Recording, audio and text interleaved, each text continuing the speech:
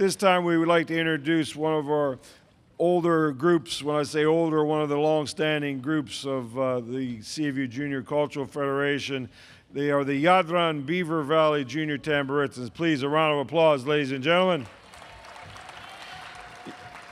The group is pleased to represent the Beaver Valley, which is located in southwestern Pennsylvania. Jadran Junior Tamburitzans were established in 1957 as part of the Croatian Social and Glee Club Jadran in Aliquippa, Pennsylvania.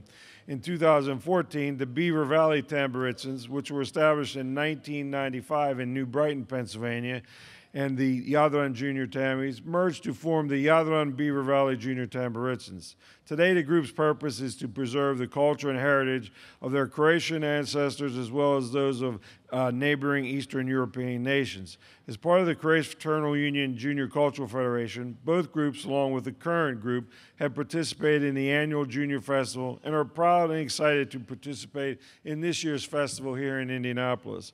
They rehearse every Wednesday evening at the Croatian Center in Aliquippa, Pennsylvania.